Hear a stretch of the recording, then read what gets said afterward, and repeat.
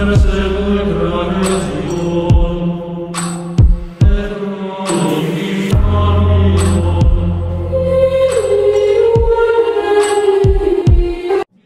Üdv mindenkinek, GB Cooper vagyok, és ez a világ legbrutálabb 26. epizódja. Az átokkal kapcsolatban az egyik kedvenc művem Stephen King Sor vagy Jel című regénye, illetve az abból készült film. Nem a leghíresebb vagy legfélelmetesebb könyve, számomra azért hátborzongató, mert én hiszek abban, hogy a Földön igenis léteznek olyan emberek, akik képesek az átokszórásra. Na, nem a tévében mohockoló mágusokról, vagy az interneten magukat hirdető személyekről beszélek, hanem olyan emberekről, akik talán valóban olyan rejtélyes képességek birtokában vannak, melyeket nem tudunk megmagyarázni. Az átokról sokan még csak beszélni sem mernek, a szájukra sem szívesen veszik ezt a szót, még akkor sem, ha túlzottan nem hisz az illető az eféle dolgokban, hiszen misztikus és ijesztő ez a jelenség, és az ördög sosem alszik. Én most mégis kénytelen voltam pár mondatot említeni erről a jelenségről, ugyanis hoztam nektek néhány filmet. Ezeket a filmeket forgatásuk közben olyan hihetetlen balszerencse sorozat kísért, melyeket alig ha foghatunk a véletlenre. Félelmetes halálesetek, szörnyű balesetek, mint egy felsőbelő akadályozta volna meg, hogy az adott film elkészüljön.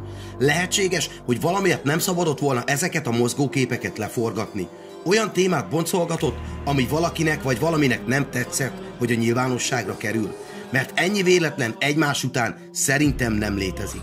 Ismerjetek meg néhány művet, melyekre abszolút igaz a kifejezés. Elátkozott film. Van néhány film, melyek miatt esetleg hiányérzetetek lehet, mert nem szerepelnek a videóban, ám ezen filmeket majd más témákkal kapcsolatban mutatom be. Halálesetek forgatás közben és után is, és a film, mely sosem készült el, mert az aktuálisan kiválasztott főszereplők rémisztő módon rendre elhunytak. Borzongásra fel, tartsatok velem az elátkozott filmek rejtélyes világába.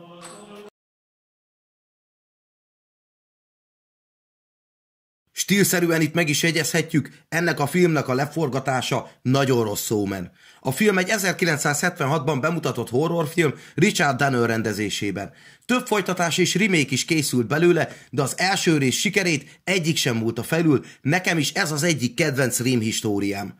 Az Omenról biztosan mindenki hallott már, ezért a tartalmát most nem esetelném. Röviden az Antikrisztus eljöveteléről szól, egy látszólag ártatlan kisfiú képében. Ám a forgatások ideje alatt olyan események történtek, melyek miatt többen azt csuttogták, az alkotást maga a sátán átkozta meg, és hollywoodi legendák szerint minden a filmhez köthető személy átkozottá vált. Vegyük sorra a baljósló eseményeket. A főszerepen Gregory Pecket láthatjuk, a gonosz kis Damien nevelőapjaként. Éppen, hogy megkezdődött a film forgatása, jött a szörnyű hír. A férfi újságíró fia, Jonathan Peck, egészségügyi és magánéleti gondok miatt 31 évesen fejbelőtte magát.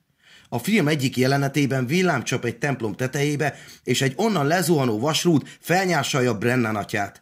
Gregory Peck Londonba utazott, ám repülőgépébe villám csapott, a gép pedig majdnem lezuhant, a színész a szerencséjének köszönhette, hogy túlélte. Még ijesztőbb, hogy a Rómában felvett jeleneteknél Harvey Bernhardt producer életesen sokon múlott. A közvetlen közelében csapott le szintén egy villám. Néhány nappal később a rendezőt Richard Dunnert elgázolta egy autó, sérülése következtében majdnem amputálni kellett az egyik lábát. A filmben szereplő állatok különösen viselkedtek a forgatás alatt. Speciálisan kiképzett állatokról volt szó, ám nagyon nehéz volt velük dolgozni. Agresszívek és nyugtalanok voltak, az egyébként szelít kutyák véresre harabdálták idomárjaikat. A filmben oroszlános jelenet is lett volna, de a négylábúak viselkedése olyannyira vaddá és kezelhetetlenné vált, hogy végül nem tudták a jelenetet leforgatni. Talán kifinomult állati érzékeik figyelmeztették őket, hogy gonosz erők munkálkodnak körülöttük. A legborzalmasabb eset John Richardsoné, aki a film speciális effektjeiért felelt. Az utómunkálatok folytak már, amikor asszisztensével Liz Morral brutális balesetet szenvedtek Hollandiában.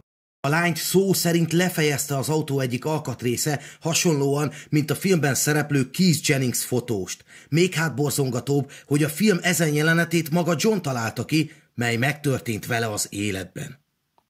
Ráadásul a baleset pont egy olyan tábla mellett történt, melyen egy felirat volt, mely így hangzott. A következő város 66,6 kilométerre van. A település neve pedig Omen. Ez azt hiszem nem szorul magyarázatra. 2006-ban elkészült az Omen felújított változata. Ezt a filmet nem szabad még egyszer megcsinálni, nyilatkozta akkor John Moore rendező. A Damien anyjának szerepére felkért Rachel Weisz nem merte elvállalni a szerepet, a dadát játszó Mia Farrow egy Szűz Mária medált hordott magánál a forgatások alatt, és megkérte spiritistát, hogy tegyen rá védelmet. Többen állították, mindezen sztorik csak reklámfogások a film népszerűsítése miatt, de egyet ne feledjünk. Ezek megtörtént esetek, ráadásul az 1976-os Omen a kezdetektől fogva sikeres volt, nem volt szükség efféle hype-ra. Mi a magyarázat eme történésekre? Talán a rendező túl mély és misztikus témát dolgozott fel, mely nem tetszett bizonyos erőknek. Ráadásul pont egy olyan haláleset történik, mely szinte szóról szóra megegyezik a filmben történtekkel. És ugyan mennyi az esélye, hogy villám öli meg majdnem Gregory Pecket és a producert is. A békés állatok megvadulásáról nem is beszélve. Ők biztosan éreztek valamit. Valamit, ami rossz.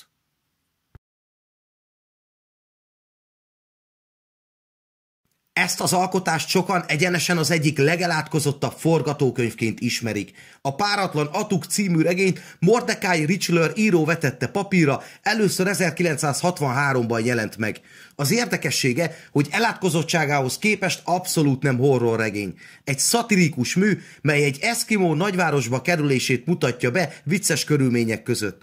Todd Carroll színésznek nagyon megtetszett a regény, ezért forgatókönyvet írt belőle, és a 33 éves John Belushit, James Belushi testvérét választották ki az Eskimo főszerepére. Azonban a forgatások sosem kezdődtek el, ugyanis John a forgatókönyv olvasása alatt kokainnal és heroinnal túladagolta magát egy motelben. A haláleset miatt újabb főszereplőt kerestek. A 38 éves Sam Kinison alkalmasnak találták, és el is kezdődtek a forgatások, viszont csak egy jelentet sikerült felvenni. A színész egy napon stúdióba menet halálos autóbalesetet szenvedett. Ekkor a munkálatok befejeződtek. Két évvel később újból előkerült a forgatókönyv. A kiválasztott ekkor John Candy volt. A kövérkés, jókedői férfi azt válaszolta, gondolkozik az ajánlaton. A választ azonban soha nem adhatta meg. Nem sokkal ezután szívrohamban elhunyt 44 évesen. Eközben a gyártásvezetés felkérte Michael Oden forgatókönyvírót, hogy tegye modernebb környezetbe az eszkimót, írja át a forgatókönyvet. A férfi a munka kezdetén agyvérzésben meghalt. A filmstúdió nem akarta feladni. Következő kiszemeltjük Chris Farley volt. Amint megtudta, hogy eredetileg John Belushi-ra szánták a szerepet, azonnal elvállalta, ugyanis nagyon szerette a színészt és felnézett rá. Hihetetlen, de alig bólintott rá a szerepre, ő is elhunyt drogtúladagolásban 1997-ben, és ő is pont 33 évesen, mint John Belushi. Ami még hihetetlenebb, a mellékszerepre szánt Phil Hartman 1998 májusában részek felesége lőtte agyon alvás közben. Ezek után soha senki sem akarta leforgatni páratlan atuk történetét. Sokan azzal cáfolták az átkot, hogy a szóban forgó színészek súlyfelesleggel küzdködtek és egészségtelen életmódot éltek. De az Atuk forgatókönyve mégis szorosan összekapcsolja őket, életüket és halálukat. Létezhet-e teljesen véletlenszerűen ennyi haláleset egy ijesztő forgatókönyvvel kapcsolatban? Véleményem szerint valami rejtélyes dolog van a háttérben.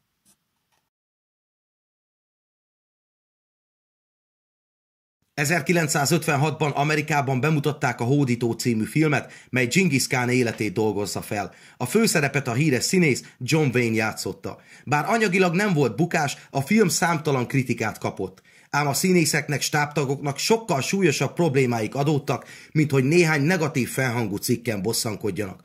A forgatás után sorra betegedtek és haltak meg a stábtagok. Susan Hayward színésznő tüdő, majd agydaganatos lett, 1975-ben el is hunyt. Agnes Moorhead 1974-ben ményakrákban halt meg. John Wayne-nél 1964-ben tüdőrákot diagnosztizáltak, emiatt ki kellett venni a fél tüdejét, ám 1979-ben gyomorrák vitte el. Dick Powell, a film rendezője is rákban halt meg 1963-ban. Két mellékszereplő is szintén rákban halt meg, egyikük 1963-ban, másikuk 1991-ben. John Wayne fia bőrrákos lett, másik gyermekének a mellében daganatot találtak. A 220 stábtagból 91 ember lett rákos, és a 91-ből 46-an bele is haltak a betegségbe. Ez akkora százalék, hogy a matematikai valószínűsége természetes esetben szinte lehetetlen. Vagy mégis? A film nagy részét Nevadában forgatták St. George-ban. Ezen a helyen pedig az Egyesült Államok hadserege 1951-től 1953-ig közel 100 kísérleti atomrobbantást hajtott végre. A radioaktív hamu pedig óriási lakott és nem lakott területet borított be, többek között a forgatás helyszínét is ez pedig 46 ember életébe került. Hihetetlen módon erre csak évtizedekkel később jöttek rá, addig sokan a dohányzásnak és egyéb okoknak tulajdonították a természet ellenesen megszaporodó, rákos megbetegedéseket a stábtagok között. Howard Hughes milliárdos, aki a forgatást pénzelte, állítólag tudott a forgatás helyszínén történt titkos kísérletekről, de nem szólt a rendezőnek, sem a színészeknek hiszen ha tudják a helyszín átkozott történetét, nyilvánvalóan egyikük sem sétált volna önként a halál karjaiba. Az átok valamiképpen olyan, mint a kisbaba, de ezt nem érti senki. Én sem értem, bár tudok egy keveset. Az átok fogalom, de ami rajtad van, nem fogalom. Az valami, ami él. Mára ennyit az elátkozott filmekről, ha tetszett ez a videó, kérlek iratkozz fel és lájkold a Facebook oldalamat, a következő epizód a jövő héten fog megjelenni, melynek témája gyilkos vámpírok a valóságban. Szép napot, sziasztok!